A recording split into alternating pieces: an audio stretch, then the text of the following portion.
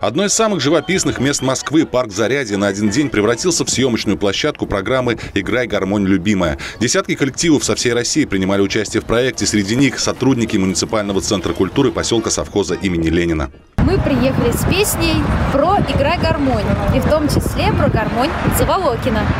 Очень она понравилась, эта песня, а, комиссии, которая нас прослушивала в съемочной группе. И сегодня мы будем ее петь. Программа выпускается под эгидой Российского центра имени Заволокина «Играй гармонь». Атмосфера на площадке царила творческая, а потому зрителей специально не приглашали. Ими стали посетители парка Зарядье.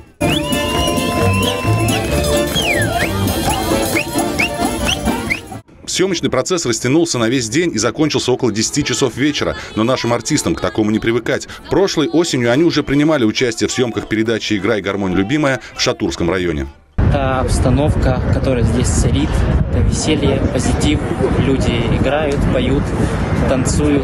Это очень интересно, это, так сказать, подзадаривает, такой задор.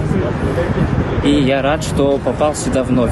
Помимо съемок в передаче, сотрудники Центра культуры поселка совхоза имени Ленина приняли участие в концерте, который прошел в Кремлевском дворце. Там от имени Российского центра имени Заволокина «Играй гармонь» им были вручены памятные подарки за активное участие в проекте. Максим Козлов, Денис Гавриков, Ольга Садовская. Видное ТВ.